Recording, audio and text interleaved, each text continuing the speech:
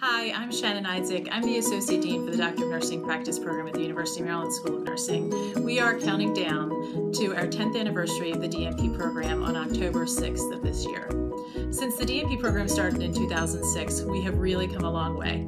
We've grown from less than 20 students to more than 300 students in our program. When we began in 2006, we had a postmaster's program, and now we have nine different DNP tracks. All of our advanced practice programs at the University of Maryland in 2014 went to the Doctor of Nursing practice. When I chose the DNP as a student, I was really interested in staying involved in patient care.